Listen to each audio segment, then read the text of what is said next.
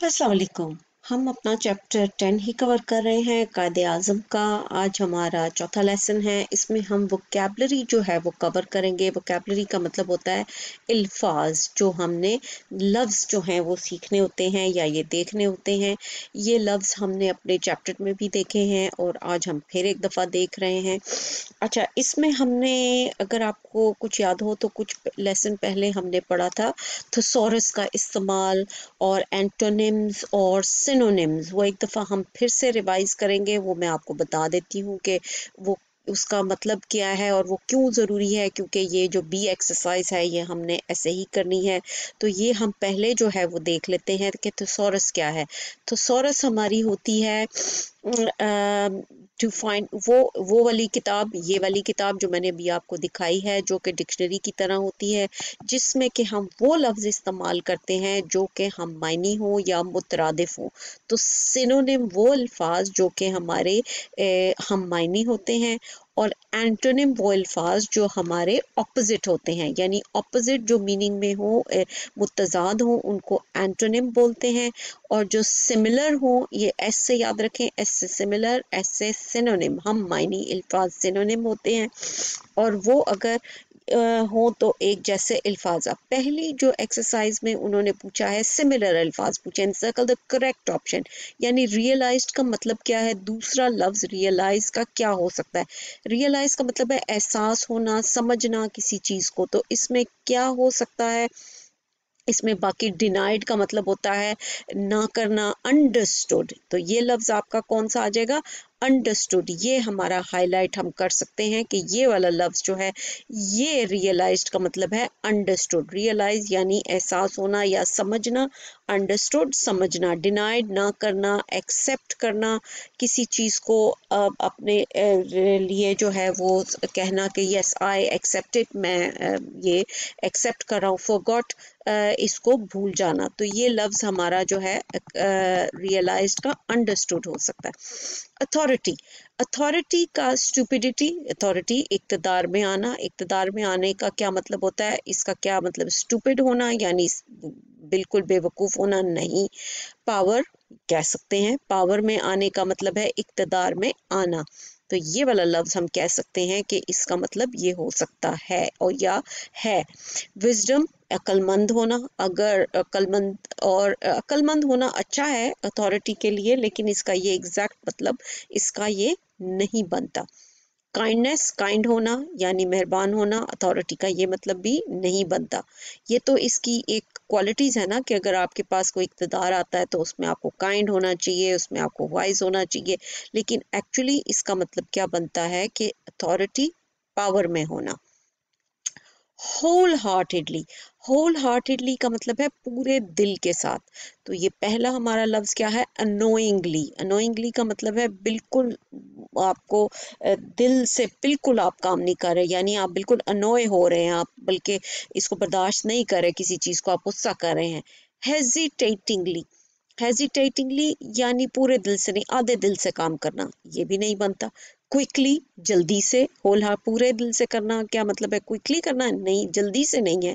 पूरे दिल से एंथुजियास्टिकली बड़े शौक से जो है किसी चीज़ को करना, ये जो है, ये हमारा इसका लफ्ज़ जो है, ये इसका मतलब होल हार्टेडली एंथुजियास्टिकली पूरे दिल से, पूरे जोश से, पूरे जज्बे से ये बनता है। तो ये हमारे, समझ लें सिनोनिम्स हैं। सिनोनिम्स यानी कि हमारे सिमिलर इन मीनिंग है realised understood authority power wholeheartedly enthusiastically अब आपने जो लफ्ज़ों का यहाँ पे ये जो लफ्ज़ दिए गए हैं, अगर आपको इनका मतलब नहीं आता तो इनके मतलब जो हैं, वो डिक्शनरी इस्तेमाल करें और इनको ढूंढें कि ये क्या क्या आपके लफ्ज़ जो हैं, वो हो सकते हैं। अब अगला क्वेश्चन जो है हमारा, वो है find out the antonyms of the following words of the following words in the thesaurus अब क्या उसने कहा? इनके मुतरदिफ जो हैं वो हमने ढूँढने हैं। तो सबसे पहला लफ्ज क्या है? सेपरेट सबसे पहला लफ्ज आपका क्या है? सेपरेट सेपरेट का मतलब है अलग होना। अब इसका मुतरदिफ क्या है? इसका ऑपोजिट मीनिंग क्या है? सेपरेट अलग होने का क्या मतलब होगा? यानी इसको अलग होना, जोड़ना। तो जोड़ने का कौन सा लफ्ज आएगा? ज्वाइन सेपरेट ज्वाइन ठीक है? तो ये ज्वाइन हो गया इसका मतलब। फिर अगला लफ्ज है ऑपोजिशन ऑपोजिशन का क्या मतलब है? ऑपोजिशन यानी कि मुखालफत करना। मुखालफत करना, मुखालफत होना। तो इसका एक लफ्ज़ है, ये शायद आपने ना सुना हो, हामनी। हामनी का मतलब होता है कि, या इसका ये भी लिख सकते हैं टुगेदर टुगेदर भी कह सकते हैं। तो हार्मनी में इकट्ठे होना, इकट्ठे मिलके खुश होके काम करना। अच्छा फिर आपका लफ्ज़ है पार्टीशन पार्टीशन हमने सीखा हुआ है पहले, तकसीम। इसका क्या मतलब है? तकसीम करना।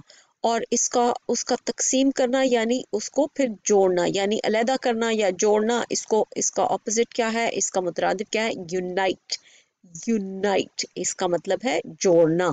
तकसीम करने का ऑपोजिट है जोड़ना यूनाइट करना। विजडम ये लफ्ज हमने ऊपर भी इसका ये वाला इसका जो एंटोनिम है हमने ऊपर भी पढ़ा दोनों बल्कि ऊपर पढ़े हैं। विजडम विजडम हिकमत अक्लमंदी से दानिशमंदी से। तो इसका अगर अक्लमंद हो तो आ, क्या कहते हैं? बेवकूफ़। तो बेवकूफ़ाना तरीके से स्टूपिडिटी स्टूपिडिटी स्टूपिड का लफ्ज आपने सुना होगा स्टूपिड इतना लफ्ज जो है वो सुना। तो इसका विजडम स्टूपिडिटी स्टूपिडिटी बेवकूफ़ाना। हेल्थ सेहत होना और बीमार होने का इसका ऑपोजिट है एंटोनिम है इसका एंटोनिम मुतरादिफ इलनेस तो क्या होगा?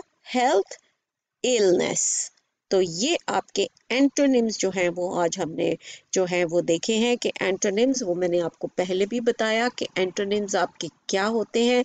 एंटोनिम्स होते हैं आपके मुतरादिफ अल्फाज। एक दफ़ा फिर हम इनको देख लेते हैं कि एंटोनिम्स असल में क्या होते हैं। तो antonyms synonyms and antonyms synonym वो अल्फाज जिनके एक जैसे मीनिंग यानी हम मायनी अल्फाज और एंटोनिम्स जो कि हमने आज किए ऑपोजिट मीनिंग और उनके मुतरादिफ opposite hot cold big little up down ये वाले आज हमने अल्फाज जो हैं वो हमने देखे हैं, अपने एंटोनिम्स जो हैं वो हमने पढ़े हैं और इनको देखा है।